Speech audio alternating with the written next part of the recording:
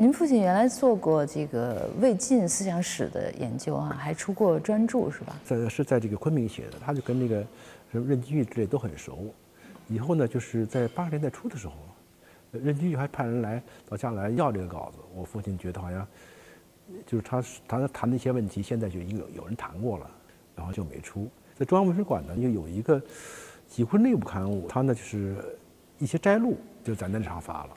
嗯，是因为他自己对于出书比较谨慎吗？还是因为什么？他出书的确是比较谨慎，呃，可是到后来呢，我觉得他，呃，有点害怕出书了。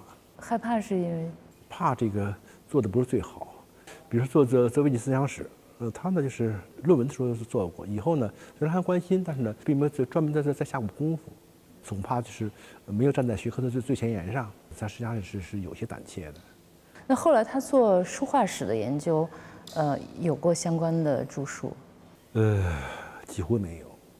应该说他没有正式的发表过论文，也没有正式的出过书。就是在中央美院教书的时候，呃，他写过几个比较长的稿子。当时那情景我还记得，就是夜都都是夜里写，通宵通宵的写。呃，写过李成，呃，写过李公麟，呃，还写过宋元的绘画史的讲义。我当时真的记得他就是很努力、很用功，呃，天天熬夜。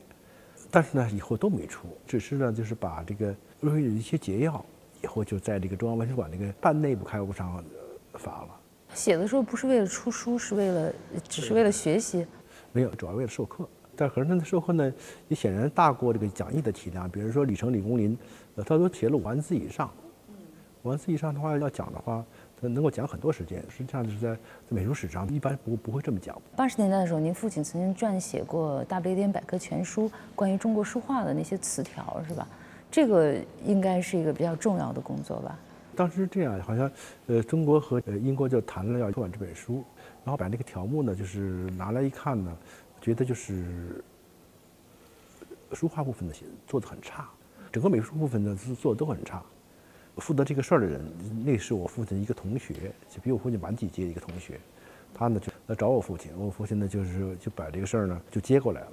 然后呢，他就是努力的做了一些，但是呢也做了很多年。就每一个词条其实相当于一篇文章，相当于一篇论文。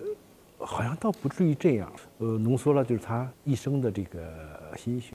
但是呢，因为是词书，呃，所以呢就是内容不是很丰富。